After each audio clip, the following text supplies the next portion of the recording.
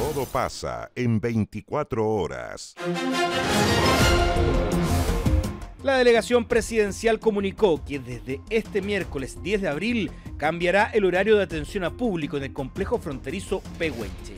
A partir de esa fecha, el recinto funcionará desde las 8 de la mañana a 5 de la tarde para la salida y de 8 a 18 horas en el caso del ingreso.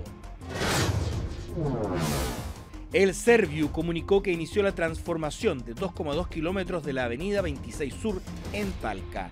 Trabajos que se desarrollan desde Ignacio Carrera Pinto hasta la calle 6 Oriente. Las faenas se extenderán hasta octubre y mientras ello ocurra, operará el tránsito bidireccional. En Licantén, el FOSIS clausuró su programa Emprendamos Grupal Autogestionado.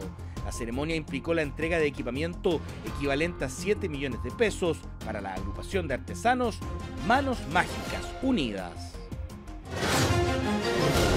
Todo pasa en 24 horas.